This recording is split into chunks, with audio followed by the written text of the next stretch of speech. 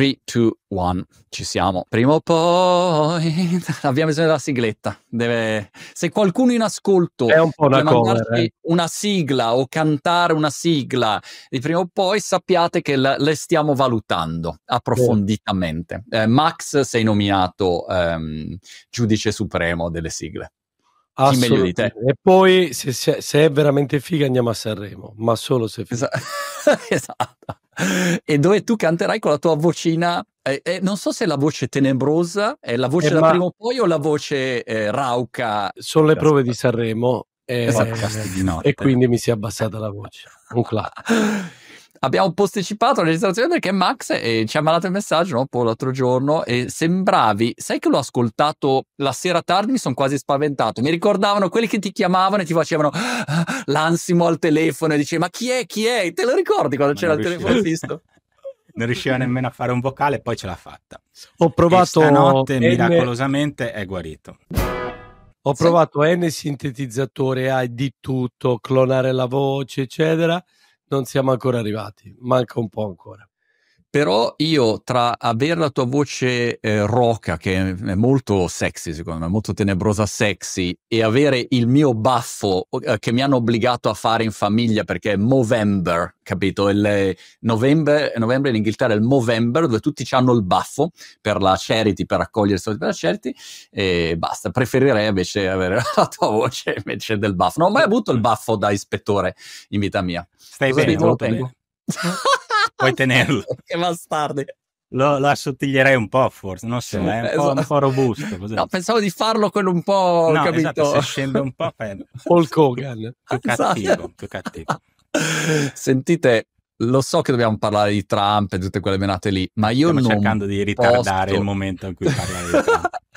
non posso, a parte che, vabbè, l'abbiamo previsto, tutti i sondaggi hanno ciccato e noi l'avevamo previsto, insomma, questa è la grande capacità vista, di analisi politica, ma a prescindere da quello, cioè non posso non partire da questi che ho visto. No, questo questi è più sono... importante. No? Mi questo sembra molto... decisamente più importante. Allora, questi sono dei pazzi furiosi veri, questi due founder. L'azienda si chiama, startup si chiama Reflect Orbital e l'idea è quella di dire ma perché non riusciamo a creare il sole sulla Terra anche di notte? E in pratica l'idea è questa. È ancora un prototipo, ovviamente. Hanno fatto un test dove sono andati sulla, sulla mongolfiera per dimostrare la fattibilità. Loro manderebbero nello spazio tutta una serie di specchi che riflettono il sole e quando è notte orientano, c'hai l'app e tu sei tipo la centrale solare, capito? Una di queste centrali fotovoltaico gli impianti fotovoltaici che dici ok ma io eh, di giorno ho il sole ma la notte non ce l'ho, non c'è problema, gli compri il servizio e con l'app dici puntami il sole di qua alle tre di notte e loro ti puntano e ti arriva il sole e ti ricaricano.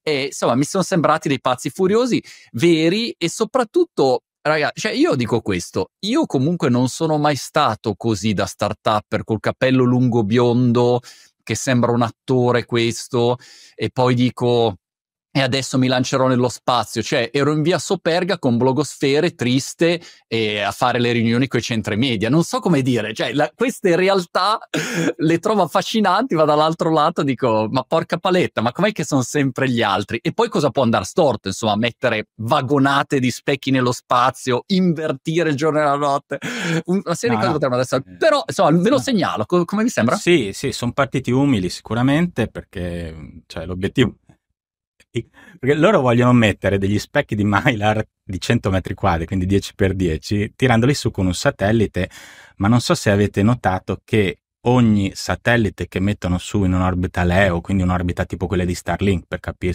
500, sui 500 o 600 km, quindi non sono neppure geostazionari, quindi loro devono cercare di orientare solo per piccoli periodi lo specchio sul campo solare che ha comprato il servizio. Mm. Quindi è una cosa proprio facilissima Molto. e soprattutto dovrebbero metterne su um, diciamo migliaia, no? Quindi proprio come Starlink. Cont- contano di, di, metterne 250.000. Questa è la loro, Ma, diciamo, stima. Ogni, ogni, campo solare deve averne uno, perché esatto. chiaramente punta solo su uno. Cioè Secondo me al, al, al, al pitch del VC, il VC gli ha detto dove la compri è buonissima. Mm. Cioè, qui siamo a un livello... Uh, e poi hanno chiesto un seed da 50.000 euro per... Esatto, ma la domanda dove la compri è buonissima, secondo me gliel'hanno fatta. Adesso ci smentiranno subito con un round da un miliardo e partono così leggeri con, una, con un safe da un miliardo così sul convertibile perché no? Secondo me di sicuro loro prendono un round gigantesco e però io penso questo che eh, alla fine dei conti Elon farà sta roba.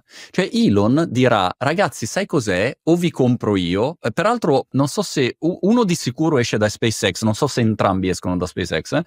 però pensiamo a questa roba qua. Elon, una volta che ha il controllo dello spazio, dice, tappezzo io di specchi lo spazio e ti do l'energia, te la porto dallo spazio, fine del discorso, dimmi dove vuoi il sole, io te lo, te lo faccio. Cioè, inizia a controllare anche quella roba lì. Cioè, non, riusciamo, non, riusciamo, a fare più di 5 minuti senza parlare di Elon. Non so se lei nota. Esatto. Eh, oggi, eh, oggi c'è. Oggi, un disastro. Come fa? Come fa? Come Comunque, fa? effettivamente, adesso Starlink sapete che sta passando alla versione 2 dei satelliti, no? che pesano 800 kg, sono più grandi e, e, fanno anche la telefonia mobile, mm, quindi proprio esatto, un, un ulteriore passaggio. Ogni lancio col Falcon 9 loro ne tirano su 60, quindi con pochi lanci, anche di questi ne possono tirare su 250.000 con pochissimi lanci. Da gennaio con Trump farà almeno 10 lanci al giorno. esatto. Ma poi la, la, versione 2 di Starlink è più pesante, quindi ne porta credo 20-21 per lancio, quindi cioè, diventa, diventa più complicato, più ampio, ma con una missione più perché anche esportare il, il mobile chiaramente con la banda mobile quello, sul, quello territorio non coperto è anche un'altra roba rivoluzionaria. Lo, lo vedi però... Ehm... Io ce li vedo comunque a parlare con lui e a, no? e a cioè, provare sì. a farlo. Assolutamente, anche non so perché... Mettere uno specchio ogni satellite di Starlink che ce n'ha già 10.000 o 12.000. Esatto. No, in realtà loro dicono noi metteremmo per ognuno che vuole il servizio, magari anche tu dici, oh, io in giardino la notte voglio il sole. Fino a storia, cioè, un, classico. un classico. Io voglio il sole perché voglio il sole, cazzo, alle tre di notte, non so perché. Lo voglio. Sono metopatico e esatto. con l'app loro mettono insieme più, più, specchi che concentrano, capito? Si specchiano così. Però a prescindere, diciamo, dalla, dalla provocazione, e poi come al solito, questi magari diventano Nembo Kid. E come al solito uno dice ma questi qua sono fuori di testa e invece poi eh, c'hanno ragione loro, io non lo so, sono abituato insomma a essere smentito, però la cosa secondo me interessante è che di fatto noi oggi abbiamo un nuovo app store che è lo spazio, cioè quando noi siamo partiti a fare startup, non è che tu dicevi adesso faccio la startup nello spazio, era, era impossibile, non potevi farlo. Oggi invece tu hai SpaceX che è come fosse uh, l'Apple Store sì. E su questo Apple Store, con i costi che andranno sempre più giù, loro ti dicono: oh, vuoi lanciare il coso per illuminare? Vuoi far... a quel punto puoi fare attività nello spazio che un tempo erano proibite. Per me ci sono tre app store oggi, c'è l'app store dello spazio, l'app store della robotica e l'app store dell'AI. Cioè sono tre app store nuovi che, che sono interessanti. Però io il cappello come questo fondatore, porca paletta, avrei sempre sognato di averlo, mannaggia. È vero, è vero. Fluente, fluentissimo bandierina Comunque, dietro. Proporrei, visto che parliamo spesso dello spazio e ne capiamo veramente il giusto, di invitare il founder di The Orbit, che è, dire, è veramente una cosa di grandissimo successo, che se, se ricordate è partita appunto per lavorare su, sulla, sulla, pulizia delle, delle orbite, no? sui detriti spaziali, tutto poi comunque evoluto in altri modelli anche e sarebbe bello effettivamente. Anche ci, perché in Italia un po' di cose forse. Sull'aerospaziale c'è cultura, investimenti ci sono sempre stati. E ci sono i ragazzi, vabbè, non è spazio, però i ragazzi di Black Shape che in Puglia hanno fatto degli aerei in fibra di carbonio che sono diventate le piattaforme per tutti gli istruttori di volo. Sì. Argotech, avevo intervistato il founder di Argotech eh, un po' di tempo fa, cioè, ce n'è un sacco. Sì, dov- dobbiamo approfondire questa roba spaziale, anche perché appunto sarebbe curioso comprendere ecco, quali sono le reali possibilità. Magari questa scopriamo che diventa la figata cosmica del secolo, insomma. E per eh, parlare di Elon Musk un'altra volta, avete visto no? quando si affiancava Trump aveva la maglietta Occupy Mars, quindi... Col figlio sulle già, spalle. Oh, l'orbita è nulla, ovviamente. Col figlio sulle spalle. Col figlio sulle spalle. Sentite, eh, lasciamo lo spazio e andiamo nell'iperuranio con l'elezione di Trump e quello che succederà. Un, un dato che mi sembrava interessante per non parlare di Elon è che lui comunque, oltre al suo tempo, ci ha anche messo un cento e passa milioncini di dollari per sostenere la campagna. Questo mi era sfuggito. Che c'era un Twitter ieri, dicevano, considerando che Tesla ha fatto negli ultimi tre giorni più 13 per no, ha fatto un più ha fatto 21 più miliardi di, no, di ha fatto 100 billion no, sì, no, lui, di, lui, lui stesso ha fatto 21 miliardi di net worth 13 calcolavo, cioè post. 100 billion ha fatto Tesla in market cap di cui lui c'è il 13 in tre mesi ha messo 100 e ha preso un discreto ROI eh, eh, mm, cioè, non è banale come cosa, eh, non è affatto. Poi voglio dire, non è stato l'unico perché c'è Coinbase che ha fatto più 35, più 40 sul tema delle cripto. Eh, però voglio dire. Bitcoin e MicroStrategy anche. È Bitcoin e MicroStrategy, Bitcoin alle stelle.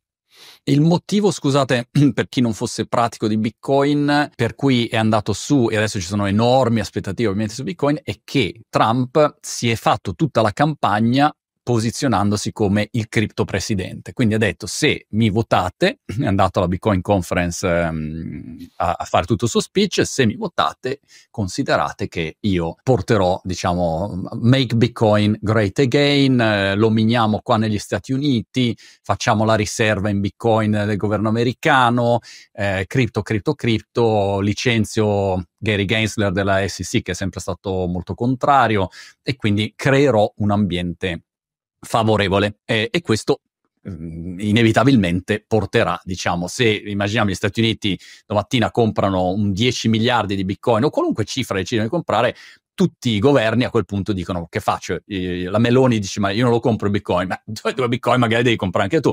Quindi diventa come dire un effetto cascata eh, con un impatto ovviamente anche, anche sul prezzo. Quindi questo è un aspetto.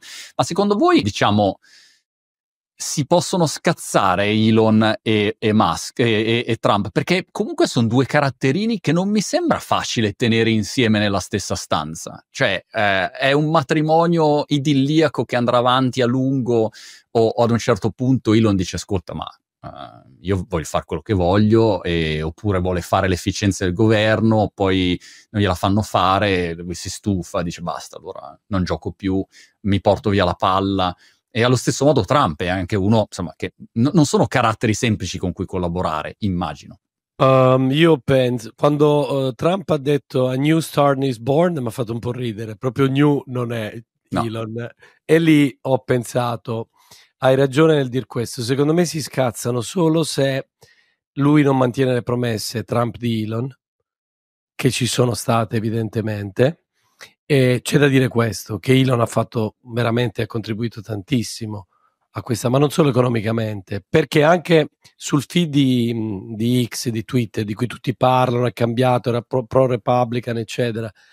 In realtà un uomo con 200 milioni di follower, se lo segui, cioè, voglio dire, il feed era completamente orientato su di lui.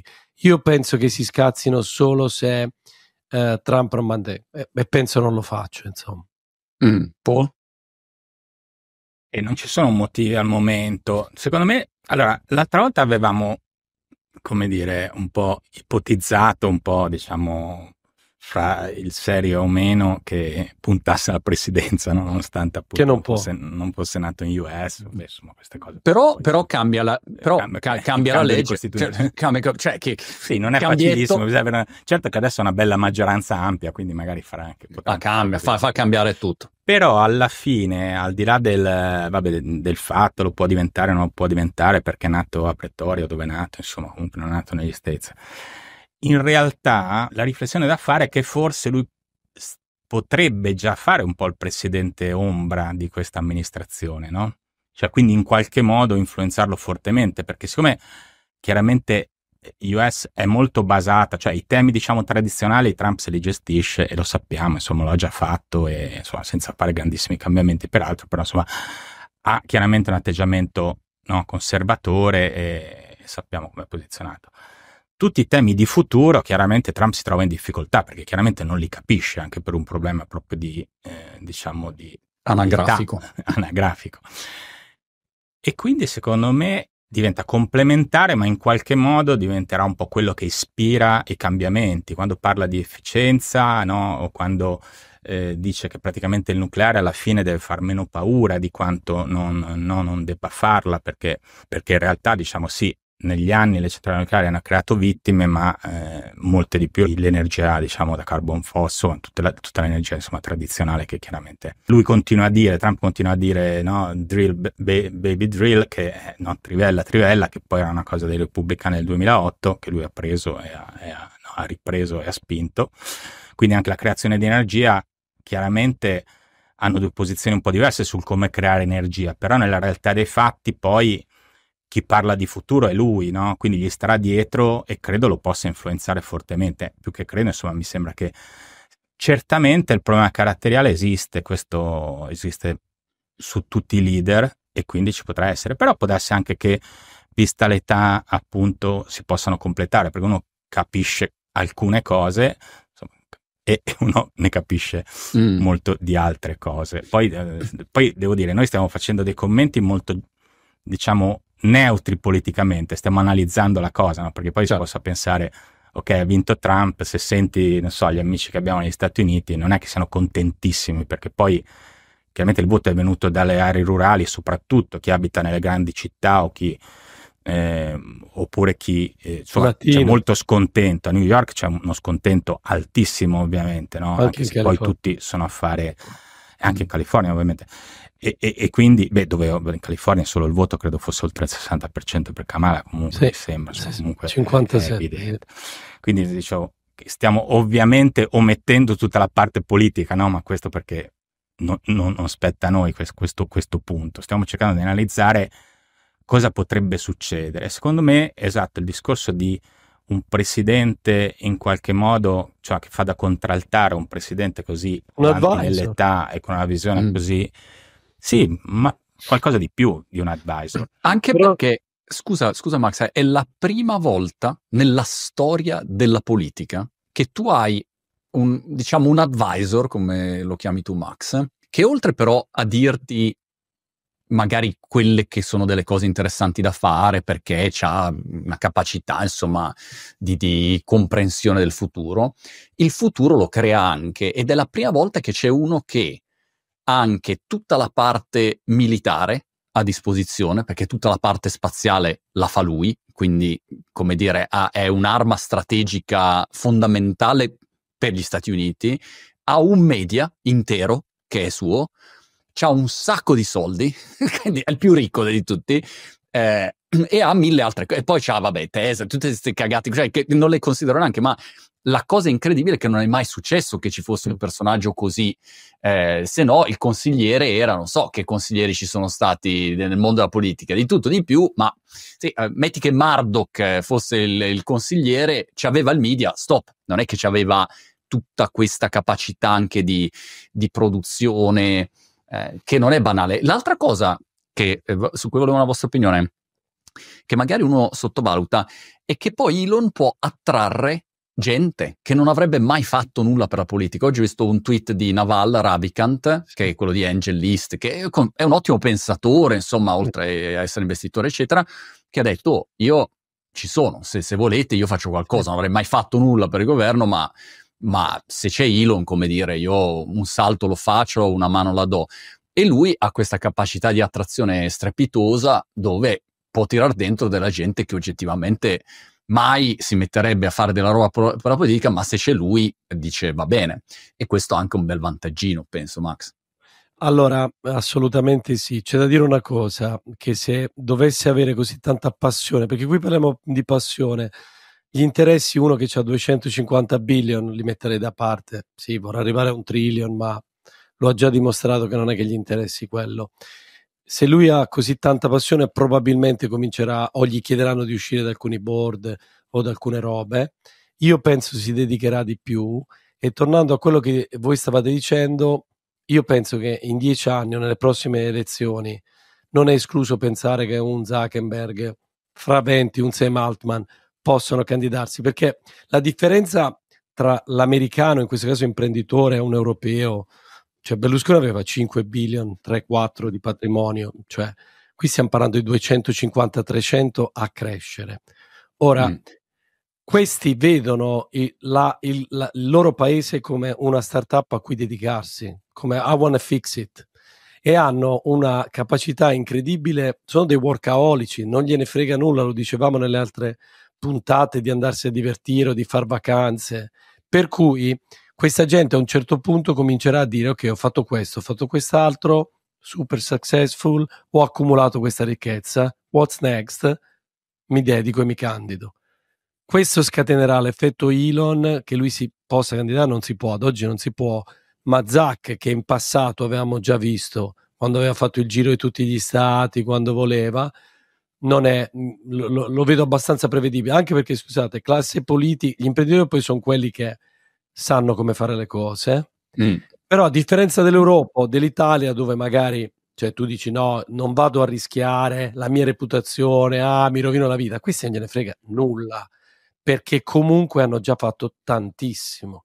Quindi questo è l'effetto che mi aspetto che, che si scatenerà in futuro, che probabilmente se ci riflettete vuol dire avere persone con competenze. Saranno le prossime elezioni fra quattro, pigliamo quelle ancora dopo otto anni, dove avremo un AI stabile, avremo una super intelligence, avremo stabile. lo spazio conquist- conquistato e lì ci vuole gente con competenze. Un'altra previsione che mi azzardo a fare oltre al fatto che secondo me litigano invece Trump e Elon, prima o poi cioè, mi sembra inevitabile che, che si scazzeranno, per... ma il motivo sarà, non lo so, però a tavola non c'era il coperchio eh, con la scritta eh, X ma Y, capisci? Cioè, po- magari una roba così perché non sai quei caratteri, ma secondo me è un'operazione che faranno considerando quanto entrambi detestano anche giustamente i media tradizionali, secondo me metteranno in pista, diciamo, una, un sistema di comunicazione basato su tutti i media che non sono tradizionali, per cui un peso sempre minore dei soliti noti, New York Times, Wall Street Journal, e un peso sempre maggiore dei vari podcaster che hanno determinato poi la, la vittoria, perché a quel punto sono in grado di bilanciare se no eh, quella che è l'informazione che uscirà, che inevitabilmente appena inizieranno a fare qualunque attività che, che decidono di fare, anche la migliore, il media tradizionale che è schierato politicamente contro darà addosso e porterà, come dire, una percezione nel, nel pubblico differente. Quindi devono bilanciare questo, non può essere solo ex. E per cui mi immagino anche delle conferenze stampa dove inizieranno a dire, ok ragazzi, dentro Joe Rogan, Lex Friedman, l'anteprima la, non la diamo a, a, capito, al Wall Street Journal, l'anteprima la diamo a Mr. Beast. cioè, non so, capito, delle robe totalmente diverse perché sono entrambi molto affini, sia Elon che, che Donaldo. Per cui ah, non so, quello... anche sui media. Sì, quello che diceva, torniamo su quello che diceva, diceva Max sull'attrazione dei talenti al governo, no? che è sempre stato un problema della politica, perché comunque... A dire la verità lo dicevo io, però sono contento che la attribuiamo a Max, questo. Ah, come diceva Monti, scusa. No, perché col baffo, l'osservazione eh, col, col baffo, baffo capito, col baffo mi sono sbagliato, sì, sì, sì, si assomigliate molto, adesso mettiti il cappellino Max. Esatto, dobbiamo... O mettete cappellini di colore co- di, di, di colorati così posso capire. Uno rosso e uno blu. Io sono con questo sfondo blu, non capisco molto, non vedo neanche, capito? no, allora, come diceva Monti, Esatto. giustamente peraltro. Eh, e volevo raccontare la mia esperienza personale al governo, perché non trascuriamo che mi sono fatto quattro anni di consigliere per l'innovazione a Palazzo Chigi, quindi culo, ho potuto poi. notare, sì esatto, tu che qualcosa hai fatto anche Qualcosa tu, ho, ho fatto e, anche E ci hai lasciato anche tu il pezzettino di fegato, no? Che... Esatto. Perché non è facile effettivamente quando sei lì fare le cose.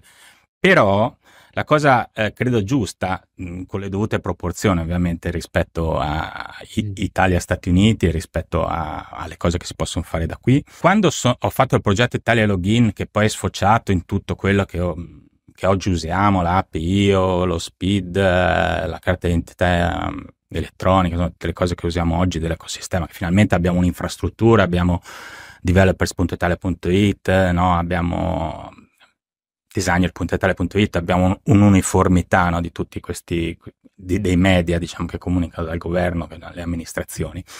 Quello a cui volevo, volevo farvi notare è che quando abbiamo creato il team per la trasformazione digitale, mm. quando è arrivato anche ad affiancarmi eh, Diego Piacentini appunto da Amazon per, qualche, per gli anni in cui è stato commissario del, la trasformazione digitale. Le cose hanno funzionato perché? Hanno funzionato perché siamo riusciti a prendere nel team 20, circa 25 talenti presi sostanzialmente dall'industria, in cui facevano veramente queste cose le facevano da anni e hanno detto ok, facciamo una sorta di servizio civile mh, hm, di un paio d'anni retribuito, ma non troppo perché comunque chiaramente non, nell'amministrazione pubblica non è che hai lo stesso stipendio, io feci tutto pro bono, ma così per un motivo di trasporto verso questa voglia di, di vedere un po' di digitale fatto bene eh, nel paese. Pro bono significa cosa, gratuitamente, lo traduco per chi fosse... Gratuitamente, senza... pagando treni hotel, cioè quindi senza nemmeno, no, proprio non volevo proprio... Ci ha perso, insomma. Pensare, cioè, sì, ovvia, ovvia, nel senso... L'unica cosa è che alla fine mi hanno fatto ufficiale dell'ordine al merito della Repubblica Italiana. Veramente? Riconoscimento gradi, che sono ufficiale. So, Ma dai, sono passato direttamente da cavaliere ufficiale direttamente. No? Ti, ti, hanno fatto con la, con la spada dietro in ginocchiato? Sì, Mattarella mi ha investito. Quando lo fermano, Paolo, eh, gli il saluto. Eh? Quando lo fermano. Assolutamente. mi ci vedo benissimo in quel ruolo. Però, a parte la difficoltà, ma poi essere riusciti a sbloccare delle cose che erano ferme dal 2000, effettivamente le persone del team avevano un, dire, una tale capacità di creare prodotti e di riuscire a trascinare, grazie ai fatti, avanti le cose che ha fa- fatto veramente la differenza. Quindi, mm. in proporzione, il fatto di riuscire, ma mai saremmo riusciti a portare a bordo persone che comunque magari in passato avevano fatto o start-up oppure imprenditori che si erano presi anche loro due anni, diciamo, di sabbatico per aiutare e così via, no? Quindi creando un team che parla questo tipo di, di, linguaggio o comunque che vede un po', che ha un po' di visione di futuro, non legato alla politica, perché consideriamo che, no, chiaramente era, un team molto pragmatico, no? Anche il mio progetto era molto pragmatico, non per niente è stato portato avanti, cioè a livello bipartisan fino ad oggi, no? perché tuttora cioè, è tutto portato avanti. E, e, ecco, può essere una possibilità di riuscita che probabilmente dovremmo continuare a fare anche in Italia, non solo pensando agli Stati Uniti, dove questa cosa probabilmente accadrà per il motivo che di, di, dicevi tu, Monti, prima, che gente come Elon può portare a bordo come dire, dei suoi, tra virgolette, simili, no? che hanno la stessa volontà di migliorare l'efficienza. Lui si è proposto come, con questo ufficio che se non sbaglio si chiama Doge, molto Doge, simile nome a caso alla cripto Department of uh, Government, Efficiency. Government Efficiency e non è a parte che credo che il punto fondamentale di questa efficienza ahimè sia il taglio diciamo che normalmente le big tech fanno no? nell'organico grazie cioè per il problema appunto di dover far tornare i conti, cosa che evidentemente nell'amministrazione pubblica non puoi fare. No? Il taglio intendi licenziare persone, di, licenziare persone, mandare a casa persone perché chiaramente molte cose possono essere fatte con molte meno persone, cioè è evidente, questo, in tutto il mondo è così ormai. Però chiaramente lì non lo puoi fare perché non, non è quella la tecnica. Quindi sarà interessante capire come pensa di dare questo tipo di efficienza e ancora di più come attrarre persone a fare cose che appunto dal, dal mercato. Però lui ha detto in uno in un uh, QA, in un town hall lo chiamano qua in, in, in, uh, nei paesi anglofoni, quando vai e parli, e rispondi Anche alle noi domande. Lo chiamiamo così. Si chiama così? Si chiama anche da voi in, in, in provincia. A, a Bologna la chiama così normalmente cioè, se vai a mangiare i tortellini ti dicono ma facciamo che... prima un town hall ma, o voi, lo facciamo, cioè, lo facciamo un town hall? vuole ordinare scusa Monti voi lo fate in quelle sale riunioni orrende noi in spiaggia cioè. esatto esatto.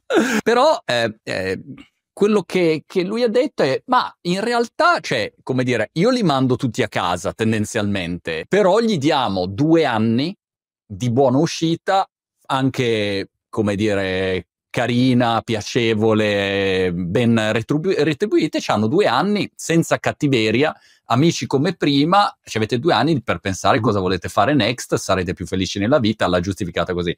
Però questa è la, la mia grandissima perplessità di tutta questa vicenda. Dalla mia minuscola esperienza eh, in politica sul lato della comunicazione, social, bla bla, il mio anno e mezzo a Roma è stato eh, un incubo ad occhi aperti, perché tu vedi che non è possibile fare niente, niente, cioè tu qualunque cosa dici, domattina c'è, ok, sciopero globale totale. Basta. Eh, vuoi ridurre eh, questo settore? Sciopero. Eh, ti blocchiamo tutto, attacchi, articoli, insulti, cause. Cioè, quindi, cioè, come fai a fare qualche cosa? Mi domando come andranno a fare delle modifiche vere, cioè importanti, pesanti. Eh, questa è la grande perplessità. Magari negli Stati Uniti è diverso e se si mettono dicono no, rivoluzione, facciamo tutto. E... Eh, non è detto che non sia uguale anche negli Stati Uniti. Mi piacerebbe capire da voi, perché uno dei cardini chiaramente della politica di Trump è quella di, di deregolamentare, no? di togliere anche efficienza deregolamentando, che è sempre un'arma a doppio taglio. No? Sappiamo che in Europa noi, almeno, insomma, mi pare che sia uh, Vox Populi, che siamo un po', cioè diciamo, più che regolamentati, no? Cioè vengono comunque... È, è, è chiaramente un'unione che eh, mette, mette, veti incrociati e stiamo diventando sempre più ingessati nel fare qualsiasi cosa. È un po' il nostro problema che ormai si dice negli Stati Uniti in Cina si fanno le cose e noi tendiamo a regolamentarle, no? perché poi effettivamente purtroppo non stiamo esprimendo tantissime cose di futuro. Come la vedete questa questione della deregolamentazione applicata, se possibile, all'Europa e all'Italia? Cioè, non sarebbe una soluzione? Abbiamo provato tante volte, se non sbaglio c'erano anche ministeri deputati alla semplificazione, non ha mai funzionato nulla, ci siamo sempre e solo complicati la vita. Cioè, se vedete, l'incubo di fare impresa in Italia è noto, no? non, non, riesci, cioè hai talmente tanti oneri, oltre alla tassazione e il cuneo fiscale, hai talmente tanti oneri regolamentari che praticamente tu butti metà della tua giornata lavorativa a pensare a quelle cose lì ed è una cosa che evidentemente toglie forza a chiunque, no? Mm. Come la vedete questa cosa della deregolamentazione? Ne abbiamo parlato forse negli ultimi vent'anni, cioè mm, ad ogni elezione ne parlavamo. Vabbè, molto si è semplificato, c'è da dirlo, però oggi fai eh, start-up innovative, eh, sì, passi sempre da un notaio, se la piglio nel nostro senso, eh, dal nostro punto di vista. Quel ruolo, secondo me, Paolo, eh, l'abbiamo detto, va demandato sempre più alle start-up. Che ne so, penso alle eh, buste paga eh, o al tema mh, diciamo di gestione. Oggi c'è una startup per quello italiana. Ignoravo che il mercato dei consulenti del lavoro in Italia è di 4 miliardi quasi. C'è GTJAR, una startup che non lo so come gli è venuta la passione di gestire quel mercato. Quello secondo me è demandato molto alle imprese e quindi ci vogliono leggi che semplificano, ma ci vogliono anche idee, perché molta gente si appassiona nel, nel, diciamo, nel risolvere dei temi che sono difficili. Vedo che qui c'è una certa tendenza, che ne so, Fisco Zen è un'altra startup del famoso Vito Lomele di Job mm. Rapido, ma eh, se, mm, voglio dire che tra l'altro ha fatto una semi-exit, lui si è appassionato nel semplificare la parte burocratica per le partite IVA. Ho capito che software, però come dire, ci provano, quindi d'accordo con te, ci vuole, però io ci ho sempre visto un'opportunità in quello quando le cose non funzionano e molti potrebbero anche, voglio dire, eh, cioè, il, partiamo da questo presupposto. In America partono con delle robe deregolate, vedi Uber, cioè, poi al di là del casino che è successo qui, è successo pure un bel casino lì. Airbnb eh, non era regolata, però su quello che dici tu, sì, ci vorrebbe però c'è un'opportunità anche per l'imprenditore, secondo me, su questo. Sì, vale la pena, secondo me, citare, prima hai citato alcune cose più recenti, ma vale la pena citare, ad esempio, che Daniele Ratti, che aveva 18 anni, ha iniziato Fatture in Cloud, che nel 2013, ora 11 anni di differenza, era il primo gestionale, diciamo, completamente nativo in cloud. All'inizio molto semplice, poi sempre più articolato, poi acquisito. E... Chi l'ha comprato Fatture in Cloud? Cos'è? Team System adesso. Ah, sì, giusto? Bravo Daniele, è stato bravissimo. Ah, è stato bravissimo, però per dire, sono d'accordo Max, però tu stai parlando di alcuni imprenditori che mettono delle toppe ai problemi, diciamo, di un paese molto complesso, giusto? Sì. Io stavo dicendo deregolamentare Ho proprio capito. a monte, no? no cioè, so. il rischio, perché chiaramente più molli, più ci sono insidie, no? Di far entrare però è anche vero che ormai siamo veramente troppo blindati su qualsiasi cosa, sì. ma blindati purtroppo non in senso positivo, anche con dei nonsense. Guardiamo anche solo blindare le cripto, su cui adesso credo l'ultima dichiarazione di Giorgetti sia stata mm, se l'holding period è più alto, è più lungo, diciamo, no? Quindi non è più un investimento speculativo, ma comincia a essere un esperimento cassettista, allora rivedremo la, no? il capital gain che adesso è stato detto al 42, no? Cioè, quindi un po' poi Però cose che comunque Paolo... destabilizzano, perché tu dici una cosa e tre settimane dopo ne dici un'altra, no? E quella poi... è non competenza, però. Però ti immagini la scena Elon al prossimo viaggio in Italia che dice, wow, sai, con Trump puntiamo tutti sulle cripto, sulle certo. bitcoin. E l'altro che gli risponde, ah, noi le abbiamo tassate al 42. No, ma sicuramente il risultato sicuramente ha influito su questi ripensamenti, oltre al fatto che ci sono stati mili- cioè miliardi di critiche in merito, no? Ma Però era solo come dire, no? Cioè, cerchiamo anche di mettere laccetti o tasse ulteriori a cose di futuro di cui invece soprattutto i nostri giovani avrebbero bisogno anche per il ricambio no? generazionale che comunque c'è molto disorientamento e anche molta spinta ad andare fuori dall'Italia. Però insomma, non pensate che eh, io in Inghilterra vedo la stessa situazione che che c'è in Italia, cioè non vedo una grande differenza. Adesso il budget c'è stata ultimo, la Brexit, quindi più di così. C'è stata, c'è stata e, e, il budget ultimo, peraltro, una delle proposte, poi non l'hanno fatta, però era quella di alzare il capital gain praticamente a, a portarlo come fosse la income tax. Quindi, cioè, eh, al posto adesso l'hanno alzato perché comunque c'è il 24% adesso di capital gain e l'idea era quella di alzarlo appunto sopra il 40%. Eh, non l'hanno fatto, però la mia sensazione è questa, per arrivare a una situazione che veramente funzioni, da un lato tu devi avere A della gente molto in gamba, perché devi avere della gente che si mette a analizzare il problema nel suo insieme e comprenda quali sono poi gli effetti primari, secondari, terziari, cosa succede se faccio sta roba tra dieci anni, vent'anni funziona meglio. Cioè devi avere persone super in gamba che analizzino l'intera situazione. Poi devi avere la capacità di poter incidere, una volta che hai fatto il mega piano, di dire ok, adesso si fa così e viene fatto. E questo è un altro enorme problema perché poi le cose invece si fermano. E il terzo problema è un tema di durata. Cioè, quando vuoi impattare veramente, eh, se stai al governo 12 mesi e poi ti mandano via, che cosa, cioè, Però fai solo ora, slogan. Ora, ora c'è una solida eh, voglio dire, base e sono al governo, adesso senza parlare di, di sinistra o destra, perché poi non è che... Però, come dice Paolo, cioè, noi abbiamo avuto governi anche tecnici o comunque governi che hanno visto nel mondo tech delle opportunità. È nata una legge, voglio dire, da un governo, era il governo Monti tecnico, perché c'è quasi, questa secondo me è solo non competenza, non è ostilità, non li faccio così, e lì, l'abbiamo detto, tutti, è questione di persone. Prendi il Paolo, il Pippo di turno o chi vuoi con competenze e gli chiedi pro bono o no. E in realtà qualcuno sosteneva che devono essere pagati anche bene con dei bonus, con degli MBO e devono essere cacciati facilmente e lo metti a farti aiutare.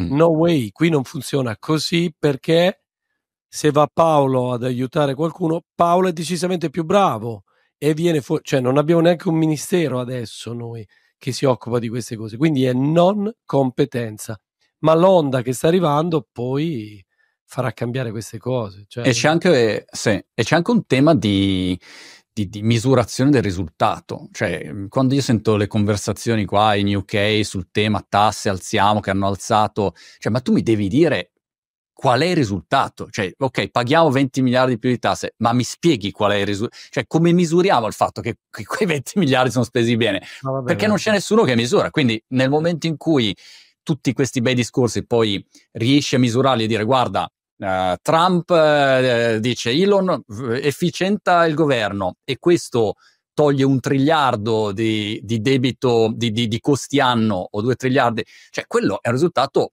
chiaramente misurabile, lo vedi, entrata, uscita. Non ragionano così.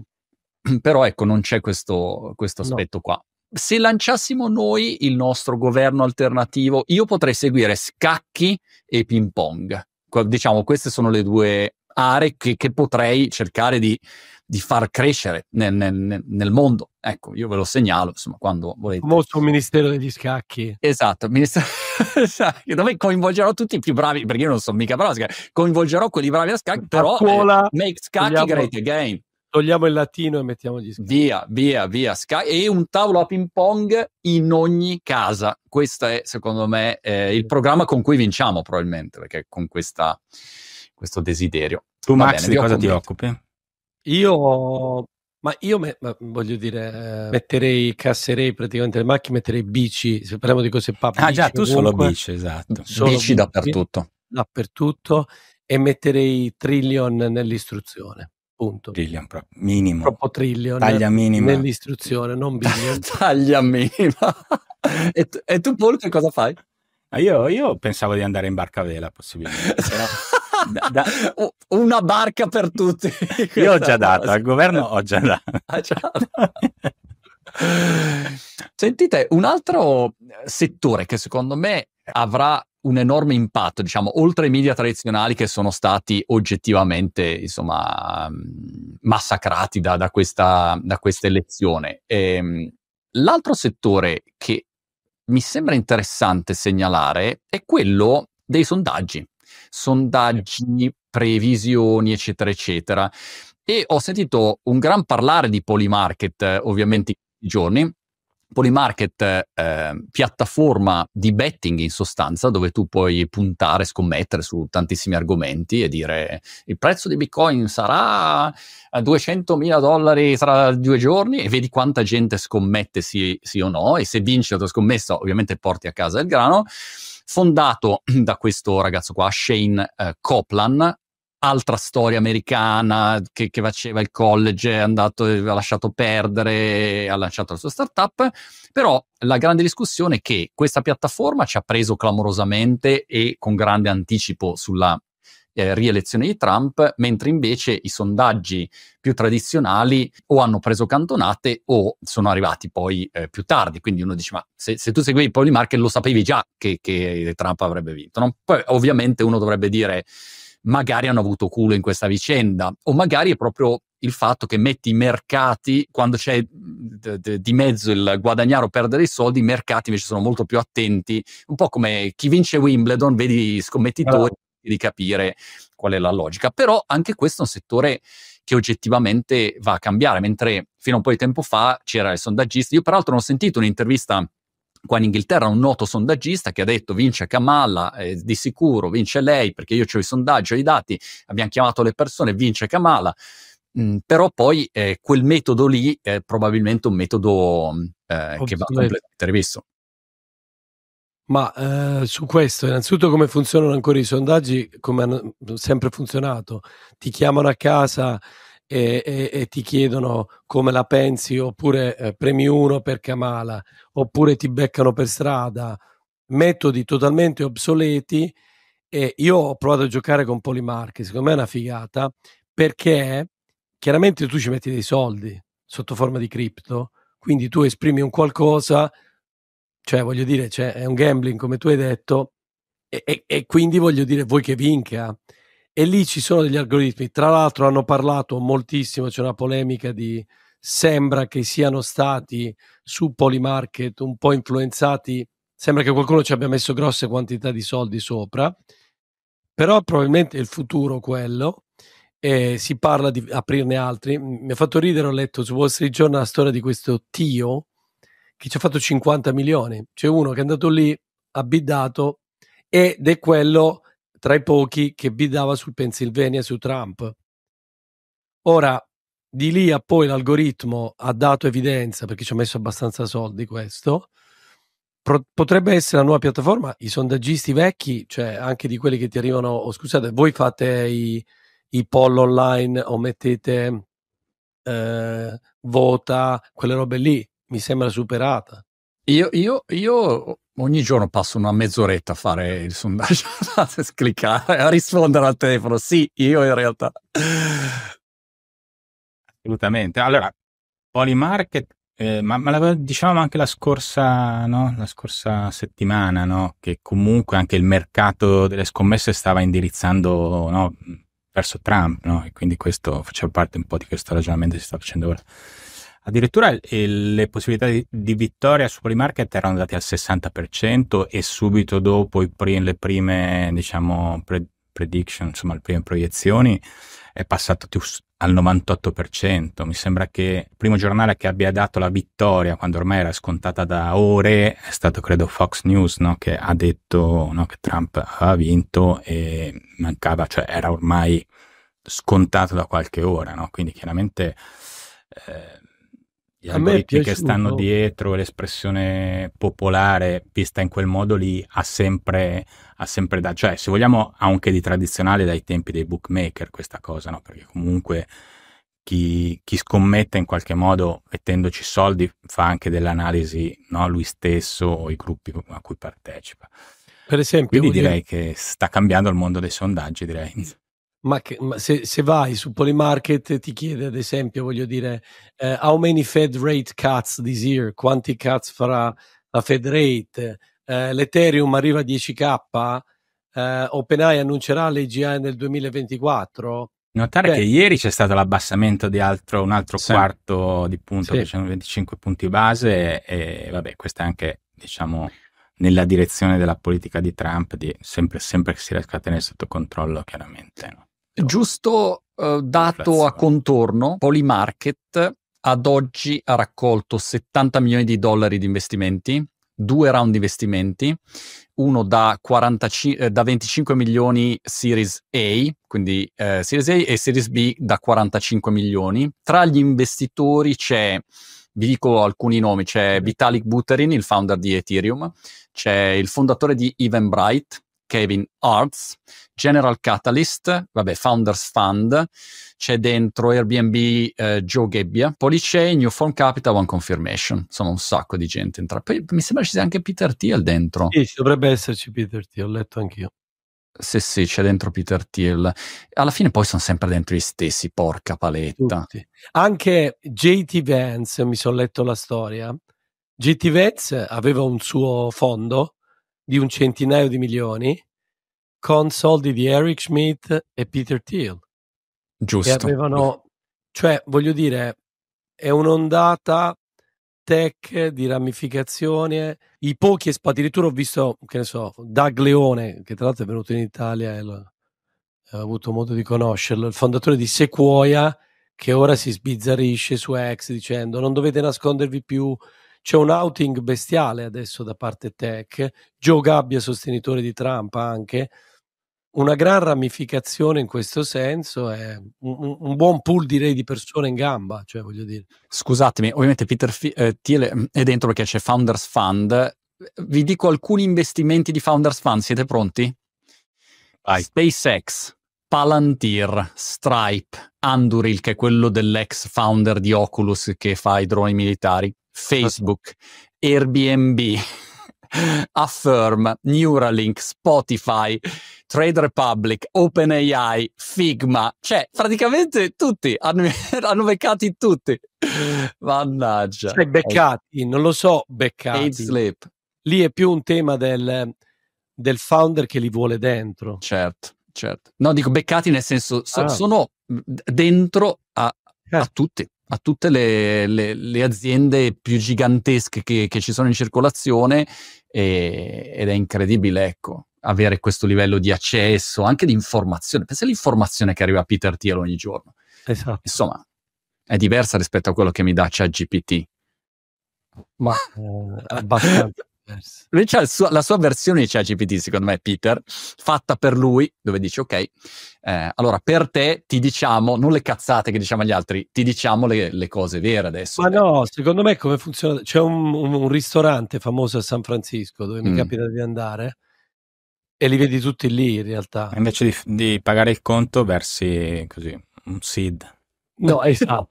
No, volevi dire questo, dire, eh, eh, l'abbiamo detto, se vai a Palo Alto, cioè mh, mm, voglio dire, eh, per quanto ami la mia città Manfredonia, ma è decisamente più bella di Palo Alto, eh beh, cioè, è un pozzo orrendo, ci vuole, ci vuole poco. Se vai a Sunnyvale è così e forse aiuta, qualcuno aveva detto in passato, vivere in questi posti in cui non è che c'è tutto questo entertainment. Quindi questi si vedono, succede tutto lì e creano robe. Punto. Cioè, eh, New York non succede perché New York c'è più benessere. Sentite, chiudiamo con un argomento che praticamente ho preso questo argomento solo per Paolo. Chat, chat.com, dominio chat.com è stato comprato. E è stato comprato da chi? Da OpenAI. Allora, eh, a parte che era stato comprato da uh, Dharmesh Shah, si, si, pronuncia, il founder di HubSpot, ed era stato sì. comprato nel 2023 per 15 milioni e mezzo. A questo punto loro l'hanno comprato da lui.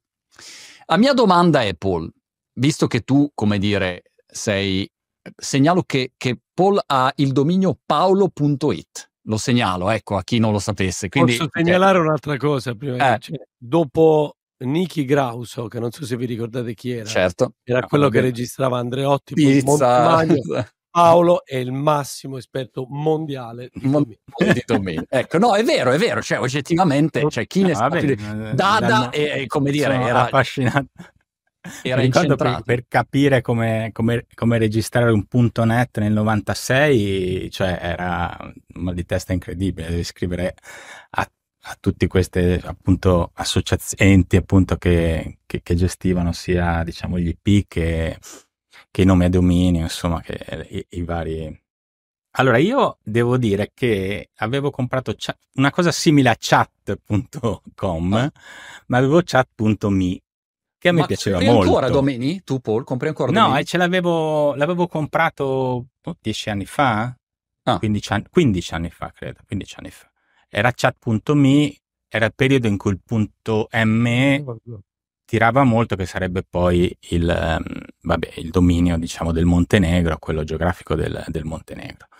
E per molte cose chiaramente matchava molto con l'inglese di dire ok chat me o altre, o altre tipologie di, di, verbi insomma non so non valeva quanto chat.com ecco questo sicuramente però poi alla fine eh, avevamo fatto un progetto sopra che aveva a che fare appunto con, con, con delle chat che tra l'altro andavano anche piuttosto bene poi però scalare non è mai facile e l'avevamo venduto, venduto, adesso non so nemmeno che, che fine abbia fatto, però sì. Allora sì, no, io sono sempre stato appassionato di domini fin da proprio all'inizio, quando non esistono ancora, perché avevo fatto, avevo domini.it, che era una, un'attività sempre di Dada del 90, 97 forse, domini.it, prima di acquisire poi anche register.it, sempre nel, boh, non mi ricordo mai la cronologia delle cose, però quindi ovviamente sempre registrato tantissimi domini, nel senso quando ho lasciato Dada mi, mi pare che ne avessimo, non so, un milione e mezzo in gestione, oh. te, non so, non vorrei dire, adesso ovviamente ne ha molti di più. E Secondo le, te, le ultime... questo, qu- quanto vale un dominio così nel momento in cui io ti vendo ciao.com a OpenAI? Allora, un po' chiaramente hanno perso peso, no? Perché sono più delle vanity URL, perché poi alla fine a livello di indicizzazione sì, va bene, comunque chiaramente sei autorevole no? per la search di Google, perché è un dominio diciamo, vita, quello considerato vital, vitale per il nome e no, il match del nome su cosa stai facendo, quindi chat GPT è perfetto su questo, chat.com, vuoi, vuoi, parlare con qualcuno, appunto con qualcuno in particolare con, con, GPT e poi hanno semplificato il branding, perché insomma anche i modelli insomma si chiamano O1, insomma adesso immagino che faranno delle cose un po' più comprensibili quando si espande, si espande il pubblico quanto possono averlo pagato, direi che rispetto ai soldi che hanno alzato è abbastanza irrilevante, è più, è più rilevante per quello che l'ha venduto. Se non sbaglio, tra, tra il founder di HubSpot e questa vendita c'è stato anche in mezzo un'altra, no? un'altra transazione. Cioè, mi sembra che lui a un certo punto l'abbia venduto a una cifra superiore a quella a cui l'aveva comprato, però poi in giro c'è scritto che è stato pagato più di 10 milioni, quindi non, mm come fai a... È, è totalmente negoziale no, la cosa, perché evidentemente non, è, non, puoi dargli un valore, specialmente ora che forse hanno perso un po' di, di appeal per via del fatto che poi, voglio dire, alle, alle app, ai mille, sottodomi- ai mille diciamo, mm. suffissi e così via. Ti direi che l'ultima esperienza che ho avuto in merito è stata l'acqui- la, la, l'acquisto di vino.com per eh, una startup che appunto ho aiutato a fondare e crescere eh, ormai che da anni insomma stiamo seguendo e vino.com prima si chiamava Vino75 e poi vabbè abbiamo trovato che vino.com non era utilizzato ma era sul mercato e quindi dopo penso due anni di negoziazione, devo dire che è andata molto bene. Stata, Queste trattative per i domini sono una roba allucinante. Nella mia vita ho avuto le trattative clamorose, dove tu parti e uno dice 3 milioni e tu dici no, io ho 120 euro. No, no, no, no, uh, mezzo milione. No, guarda, ho 120 euro. E così, no? E alla fine 300 euro. Va bene, affare fatto.